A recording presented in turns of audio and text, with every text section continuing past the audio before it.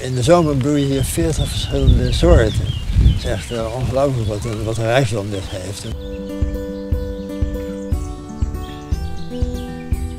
En gezamenlijk, dus in overleg met alle buren, hebben we aan de gemeente gevraagd om hier minder te maaien. Hoe werken we samen met bewoners en organisaties in de stad? Nou, ondersteunen ze heel praktisch. Als mensen een bijenveldje of een vlinderidylle willen aanleggen, dan helpen wij hun daarbij.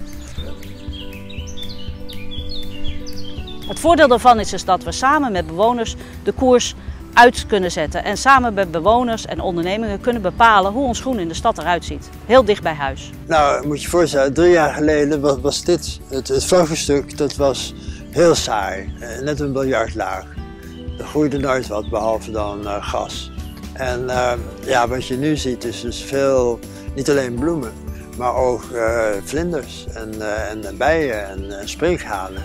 En dat, dat merk je zelfs op de terrassen van de woningen en in de tuinen.